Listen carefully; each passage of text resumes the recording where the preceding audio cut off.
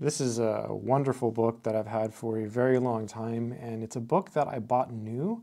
So I bought this book brand new. It's called Algebra, and it was written by the late Serge Lang.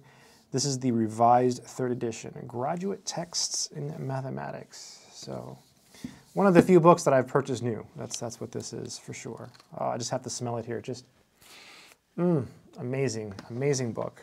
So this is Serge Lang's Algebra. It is a masterpiece of a book in some sense because he covers everything so quickly. Well, what's this? Look at this. Logical prerequisites. And so you already you have like a diagram here with functions. And these are just the prerequisites.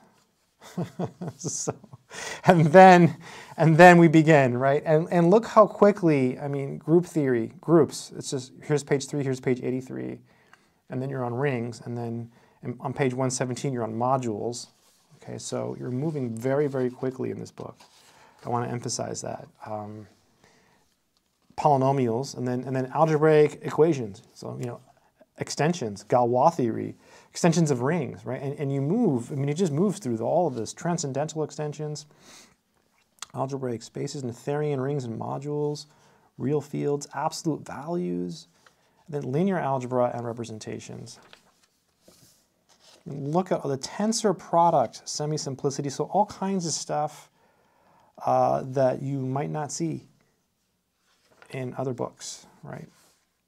And the exercises are, are ridiculous. There's, there's, some, there's some really hard exercises in this book. Uh, I will show you some of the exercises.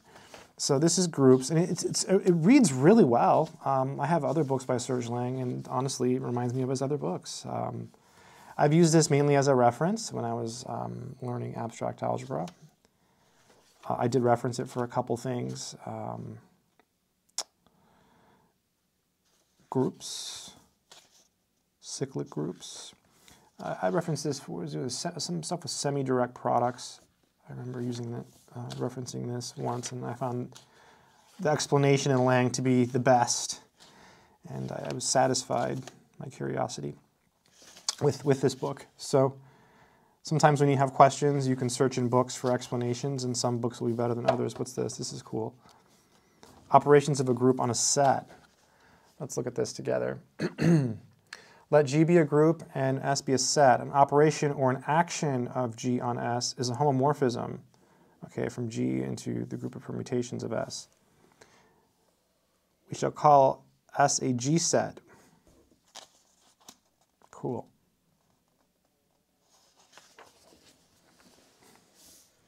Conjugation and let's go to the exercises. I believe, I guess they're at the very end of, of the uh, chapter. I remember because there's, there's, a lot. Here we go.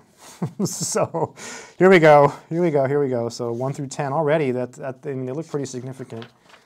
And then some more here. I mean, you've got a lot of problems, right? Look at that. Look how many exercises you have. It's ridiculous. There's no answers, of course. Uh, that would be amazing.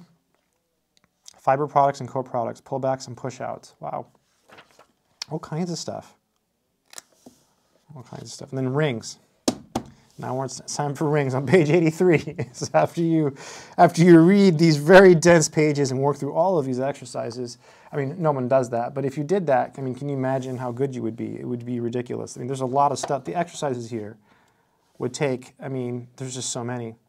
I here semi-direct products. That's what I was talking about earlier. It also shows up, though, um, when you study modules. Um, I was studying in that context with some other things, but the tensor algebra of a module, yeah. The tensor product. Decomposition over one endomorphism. Determinants. A lot of mathematics here. So this, this is uh, there are other books that are easier than this one for learning, like the book by Dummit and Foote.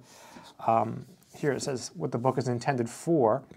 This book is intended as a basic text for a one-year course in algebra at the graduate level, or as a useful reference for mathematicians and professionals who use higher level algebra.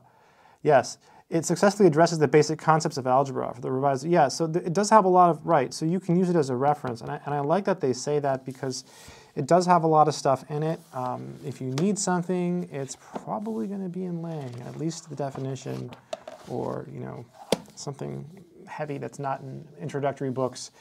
Uh, it, it might have its place in Lang, and you might be able to find it in here. I will try to leave a link in the description to this book in case you want to check it out. It's pretty awesome. Take care.